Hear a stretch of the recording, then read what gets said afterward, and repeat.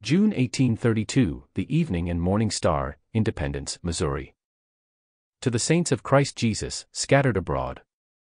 Brethren, as some of you have not been correctly informed, as we understand, respecting the order of the gathering of the saints to Zion.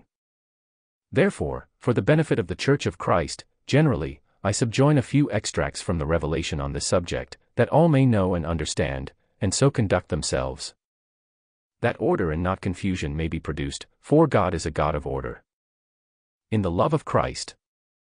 Yours, Edward. Extracts. Let the privileges of the lands be made known from time to time by the bishop, or the agent of the church, and let the work of the gathering be not in haste, nor by flight. But let all be done as it shall be counseled by the elders of the church, at the conference. According to the knowledge which they receive from time to time. They who are privileged to go up unto Zion, let them carry up unto the bishop. A certificate from three elders of the church, or a certificate from the bishop, in Ohio, otherwise he who shall go up unto the land of Zion, shall not be accounted a wise steward. Or be accepted of the bishop in Zion.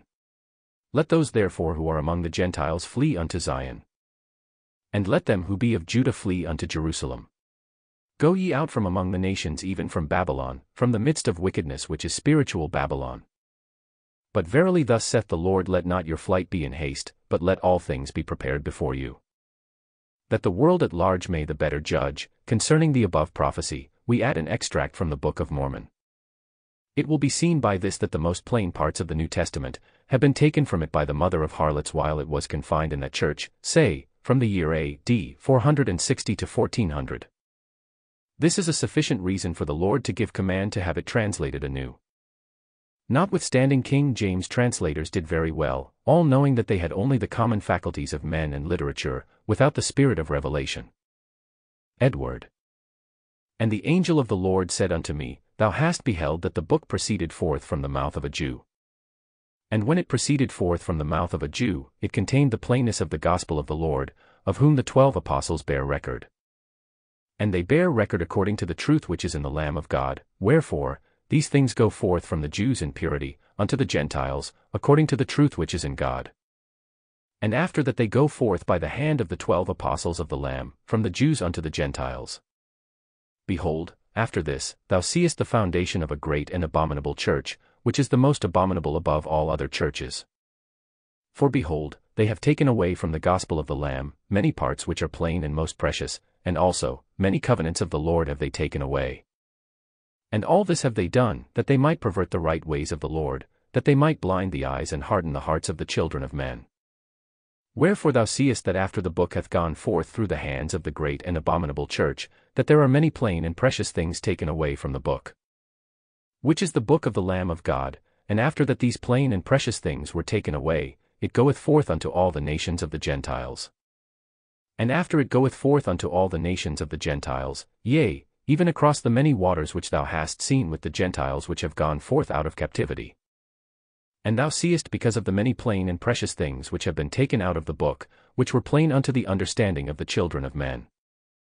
According to the plainness which is in the Lamb of God. And because of these things which are taken away out of the gospel of the Lamb, an exceeding great many do stumble, yea, inasmuch that Satan hath great power over them. Nevertheless thou beholdest that the Gentiles which have gone forth out of captivity, and have been lifted up by the power of God above all other nations upon the face of the land which is choice above all other lands, which is the land which the Lord God hath covenanted with thy father, that his seed should have, for the land of their inheritance. Wherefore, thou seest that the Lord God will not suffer that the Gentiles will utterly destroy the mixture of thy seed, which is among thy brethren. Neither will he suffer that the Gentiles shall destroy the seed of thy brethren. Neither will the Lord God suffer that the Gentiles shall forever remain in that state of awful woundedness which thou beholdest that they are in because of the plain and most precious parts of the gospel of the Lamb which hath been kept back by the abominable church, whose formation thou hast seen. Wherefore, saith the Lamb of God, I will be merciful unto the Gentiles, unto the visiting of the remnant of the house of Israel in great judgment. And it came to pass that the angel of the Lord spake unto me, saying, Behold, saith the Lamb of God, after that I have visited the remnant of the house of Israel, and this remnant of which I speak, is the seed of thy father. Wherefore, after that I have visited them in judgment, and smitten them by the hand of the Gentiles. And after that the Gentiles do stumble exceedingly, because of the most plain and precious parts of the gospel of the Lamb which hath been kept back, by that abominable church, which is the mother of harlots, saith the Lamb. Wherefore, I will be merciful unto the Gentiles in that day, saith the Lamb inasmuch that I will bring forth unto them in mine own power, much of my gospel, which shall be plain and precious. Saith the Lamb, for behold, saith the Lamb, I will manifest myself unto thy seed, that they shall write many things which I shall minister unto them, which shall be plain and precious. And after that thy seed shall be destroyed and dwindle in unbelief, and also, the seed of thy brethren. Behold, these things shall be hid up, to come forth unto the Gentiles, by the gift and power of the Lamb, and in them shall be written my gospel, saith the Lamb, and my rock and my salvation. And blessed are they which shall seek to bring forth my Zion at that day, for they shall have the gift and the power of the Holy Ghost. And if they endure unto the end, they shall be lifted up at the last day, and shall be saved in the everlasting kingdom of the Lamb.